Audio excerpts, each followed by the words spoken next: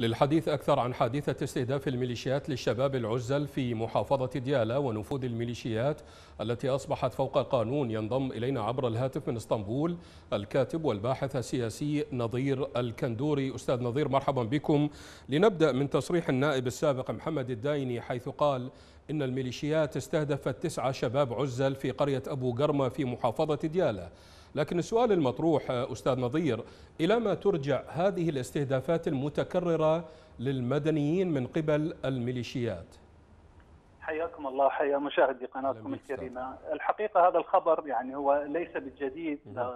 طالما تكررت محاولة استهداف يعني مكون معين في هذه المحافظة لتغيير وجه المحافظة الديمغرافي من يعني طائفة إلى طائفة أخرى. وهذا الأمر استمر لسنوات وما زال مستمر لحد الآن بحيث إن يعني قبل مدة بسيطة كان هناك مثل هذه الحوادث في مناطق شمال بغداد. الآن نقلوا الكرة إلى يعني ملعب ديالة. نعم. ويريدون استمرار واستكمال خطط التغيير الديمغرافي وبالذات هذه المنطقة هي منطقة الوقف يعني لم يبقى فيها من أهل السنة إلا القليل وهم الآن يعمدون على تهجير هذا يعني هؤلاء السكان القلة الباقين نعم. لجعل هذه المنطقة كاملة من مكون واحد خدمة للأهداف التي ترسم لها ترسمهم لها يعني إيران. طيب. أستاذ نظير الواقعة طبعا هي ليست بجديدة. حدثت أمام إحدى ثكنات فوج الطوارئ الثامن. بماذا تفسر عدم تحرك القوات الأمنية لحماية المدنيين؟ وبالتالي كان بإمكانها أن توقف هذه الجريمة. أخي الكريم أنا لا أستبعد القوة يعني المسؤوليه على مسؤولية القوات الأمنية من المشاركة أو غض النظر عن هذه الجرائم. فلطالما هذه المناطق يعني مناطق أبو الصيدة المخيسة أبو قرمة أبو خنازير كل هذه المناطق شهدت حوادث أمنية كبرى بحق المكون السني المتواجد هناك.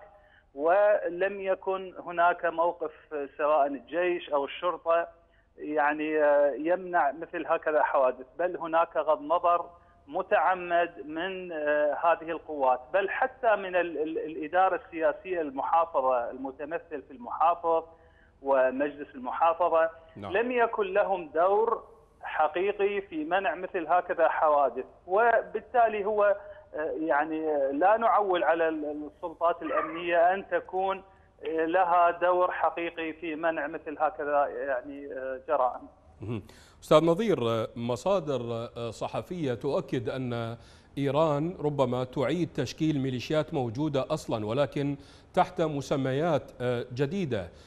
إلى أي مدى برأيكم يمكن لإيران أن تعيد تدوير ميليشياتها في العراق بعيدا عن أعين المجتمع الدولي؟ يعني هي هذه محاولة هي يعني لا أعرف كيف يفكرون بهذه الطريقة. محاولة من الطرف الإيراني بأنه يغير الأسماء ويرفع واجهات جديدة لتحاشي العقوبات التي يعني يقوم بها المجتمع الدولي تدريجيا على هذه الميليشيات المعروفة الأسماء، لذلك هم يظهرون أسماء جديدة لميليشيات جديدة عسى ولعل إنه لا تكون مندرجة تحت قائمة الإرهاب، وهذا تصرف غبي يعني من من النظام الإيراني لأنه معروف من هؤلاء والاختلاف فقط في التسمية. فلا يمكن مثل هكذا الميليشيات يعني تشارك بالدولة وتريد حقوق يعني يعني حزب سياسي بينما هي في نفس الوقت تشارك بعمليات إرهابية في قتل الناس وقتل يعني الأبرياء وتريد أن تفلت من العقاب، هذا يعني سذاجه من قبل الجانب طيب. الإيراني والميليشيات. أستاذ نظير سفير إيران الأسبق في العراق حسن كاظمي قمي قال إنه لا تستطيع أي قوة عسكرية وأيضا حددها سواء كانت هذه القوى العسكرية محلية أو أمريكية مواجهة ما سماهم حسب تعبيره بحشدنا الشعبي. كيف يمكن قراءة هذا التصريح من حيث الولاء ومن حيث تخطيهم للقوانين؟ يعني أنا أرى تصريح هذا المسؤول الإيراني يندرج ضمن يعني الحرب الإعلامية. هو يعني إيران الآن في قمة الضعف الحالي التي تعاني منه ولكن ترفع صوتها عاليا وتحاول أن تصنع لنفسها بطولات. عسى ولعل إنها تكسب الجولة على الأقل ولو اعلاميا. لكن الحقيقة غير هذا هذه الميليشيات التي يتفاخر فيها لولا الدعم الأمريكي لها من خلال الدعم الاستراتيجي وهذا ما اعترفت به الولايات المتحدة نفسها نعم. لم لما كان لها وجود ولما استطاعت أن تصمد أمام إرادة الشعب العراقي. هذه الميليشيات أصلا كانت مدعومة امريكيا وهي التي ترفع شعار الموت لأمريكا ولتسقط أمريكا. بينما في الحقيقة هي صنيعة من صنائع الاحتلال الذي جاء بعد 2003. فهذا الكلام الذي يقوم به المسؤول الإيراني ما هو إلا اللي رفع معنويات أتباعه ولرفع نعم. معنويات من يمشي بخطة.